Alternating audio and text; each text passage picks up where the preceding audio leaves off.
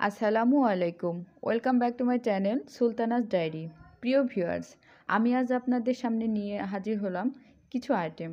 দেখুন, এখানে রয়েছে রুই মাছ। এইগুলো সবগুলো আমার শাশুড়ি নিয়ে এসেছে আমার জন্য গ্রাম থেকে। এইগুলো রুই মাছগুলো হলো হাওড়ের মাছ। এইগুলো টাকি মাছ। তিনি আমার জন্য পরিষ্কার করে নিয়ে এসেছেন। আমি বাচ্চা নিয়ে পরিষ্কার করতে পারি না বিধায়। আর নিয়ে এসেছেন গুড়। খেজুরের গুড়, আমাদের নিজের বাড়িতে তৈরি খেজুরের গুড়। আমার শ্বশুর এই গুড়গুলো তৈরি করে থাকেন। আর এখানে নিয়ে এসেছেন কালাই। এটা মাসকালাইয়ের আটা। আমাদের রাজশাহীর খুব ফেভারেট হাতে রুটি করে খাওয়া যায়। আমরা এগুলা হাতে রুটি করে খাই। আর এখানে নিয়ে এসেছেন চাউলের গুঁড়ো। তো প্রিয় ভিউয়ার্স আমি আপনাদেরকে এই সব উপকরণ দিয়ে রেসিপি তৈরি করে দেখাবো। তবে আমি এখন আপনাদেরকে এই রুই মাছগুলো দিয়ে মুড়ি ঘন্ট করে দেখাবো। আমার শাশুড়ির হাতের মুড়ি ঘন্ট। আমি আমার শাশুড়ির রেসিপিতে আজকে আপনাদেরকে মুড়ি ঘন্ট করে দেখাবো। আমি এখানে একটা রুই মাছের মাথা আর একটা লেজ নিয়ে নিয়েছি। আর ছোট একটা লেবু নিয়েছি। এখানে লেবুটা তিন পিস করে কেটে নিয়েছি। আমি রসগুলো সবগুলো দিয়ে মাখিয়ে আধা ঘণ্টা মতো রেখে দেব আর হাফ চা চামচ লবণ। আমি সুন্দরভাবে মাখিয়ে এটা আধা ঘণ্টা রেখে দেব। মাসের যে অতিরিক্ত আষ্টে গন্ধ আছে সেটা দূর হয়ে যাওয়ার জন্য।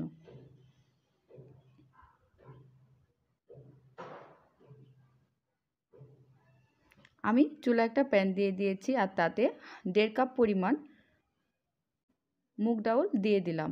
আমি এই মুগ ডাউলটা হালকাভাবে ভেজে নেব। হালকা একটু লাল হলে আমি এটা চুলা থেকে নামিয়ে নেব।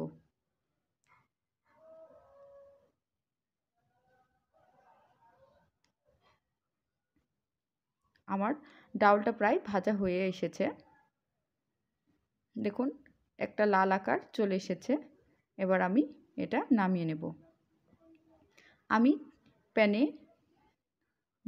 পেঁয়াজের বেরেস্তা করার জন্য এখানে পেঁয়াজ কুচি দিয়ে দিয়েছি। এই পেঁয়াজের বেরেস্তাটা আমি এখন করে রেখে দেব। এই তো আমার পেঁয়াজের বেরেস্তাটা হয়ে গিয়েছে। আমি এটা পরিবেশন করব যখন, তখন আমি এটা ইউজ করব। আমি চুলায় সামান্য তেল আগে থেকেই ছিল, আর কিছুটা দিয়ে দিলাম। হাফ কাপ পরিমাণ তেল আমি অ্যাড করে দেব।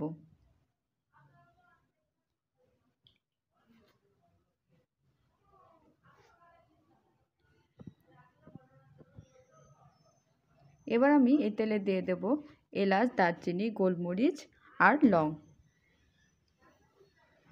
সব উপকরণগুলো আমি গরম তেলে দিয়ে দিলাম আর দুইটা তেজপাতা দিয়ে দিলাম। এই উপকরণগুলো এবার আমি তেলের সঙ্গে হালকাভাবে ভেজে নেব। এভাবে ভাজলে একটু সুন্দর ফ্লেভার আসে।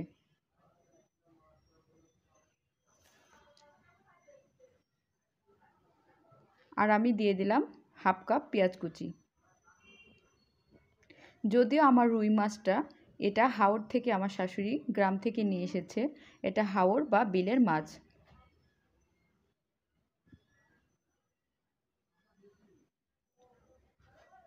আমি এটা লাল, ব্রাউন কালার করে ভেজে নেব সব উপকরণগুলো।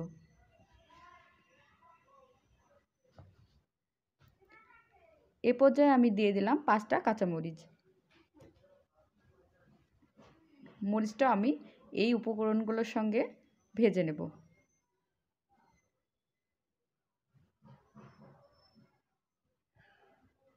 ভাজা হয়ে গিয়েছে, এবার আমি বাটা মশলা দিয়ে দেব।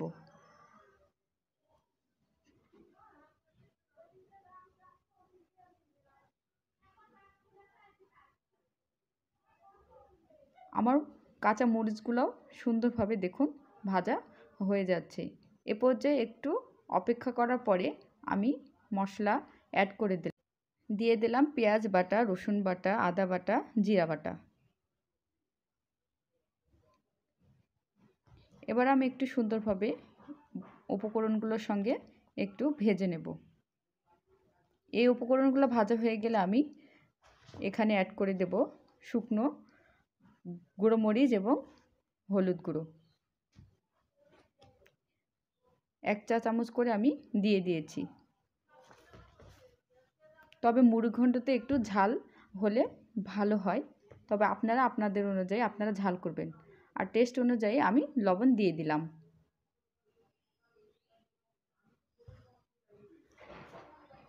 এখানে আমি নিয়ে নিয়েছি, এ পর্যায়ে আমি দিয়ে দেব ধনে পাতার, ধনে গাছের যে ডাটা থাকে, পাতাটা বাদ দিয়ে সেই ডাটাগুলো আমি সুন্দরভাবে কুচি করে নিয়ে নিয়েছি। আর এই ভাজা মশলার সঙ্গে আমি এ পর্যায়ে এটা অ্যাড করে দিলাম।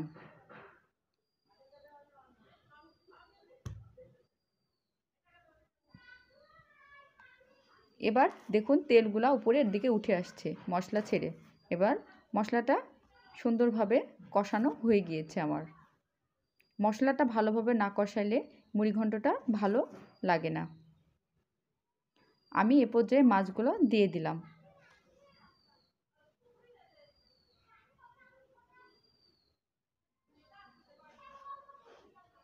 এবার আমি সুন্দরভাবে মশলার সঙ্গে এটা কষিয়ে নেব।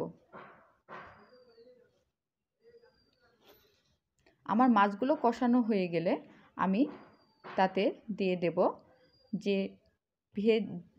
ভেজে রেখেছিলাম আমি মুগ কলাই ডাউল, সে মুগ কলাই ডাউলগুলো আমি ভেজে পনেরো মিনিট ধরে সেটা ভিজিয়ে রেখেছি। এ পর্যায়ে এবার আমি একটু ঢেকে দেব।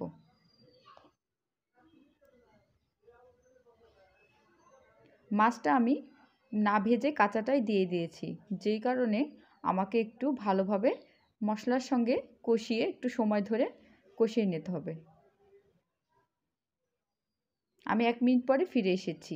এক মিনিট পরে আমি আরেকটু ভালোভাবে নেড়ে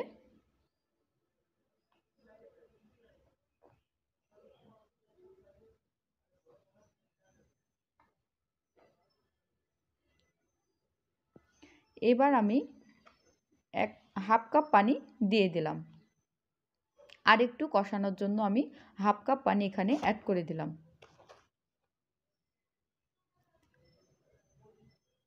এ পর্যায়ে আমি একটু ঢাকনা দিয়ে দুই মিনিটের জন্য ঢেকে দেব। আমি দুই মিনিট পরে ফিরে আসলাম। এবার আমি যে মুগ ডাউলগুলা ভিজে রেখেছিলাম, দেখুন, দেড় কাপ থেকে মনে হয় দুই কাপের মতো হয়ে গিয়েছে, ফুলে একটু বেড়ে গিয়েছে। আমি ডাউলটা এখানে দিয়ে দিলাম। এবার সব উপকরণগুলো আমি খুন্তির সাহায্যে নেড়ে দেব।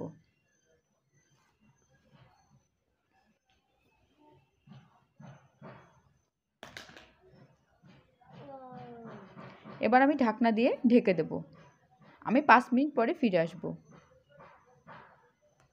আমি ফিরে এসেছি। এবার একটু নেড়ে দেবো।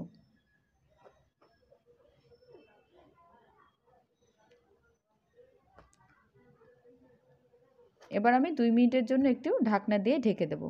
আমি দুই মিনিট পরে ফিরে এসেছি। দেখুন, এই মুহূর্তে আমি একটু নেড়ে দেব। দেওয়ার পরে আমি যেই বাকি ঝোলটুকু আমি দিয়ে দেব। এখানে আমি দুই কাপের মতো পানি অ্যাড করে দেব।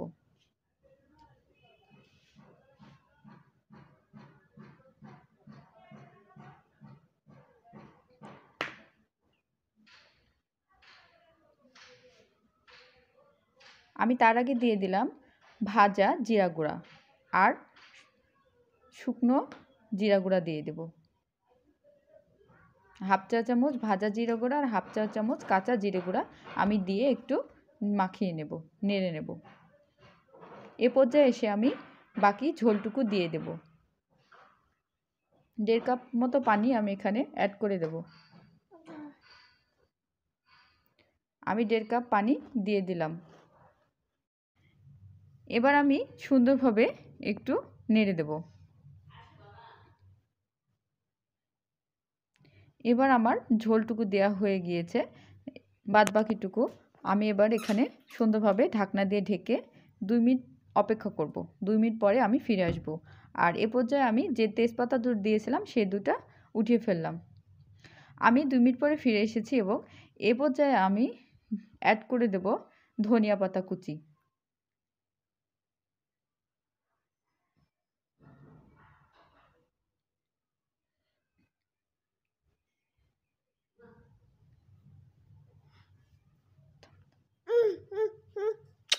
ধনিয়া পাতা কুচি দেওয়া হয়ে গেলে আমি ঢাকনা দিয়ে ঢেকে দিয়েছিলাম এবং দুই মিনিট পরে ফিরে আসলাম।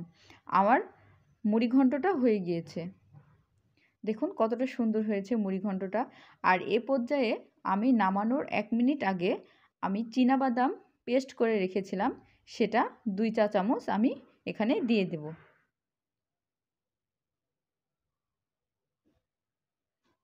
আর এবার একটু নাড়া দিয়ে দেব।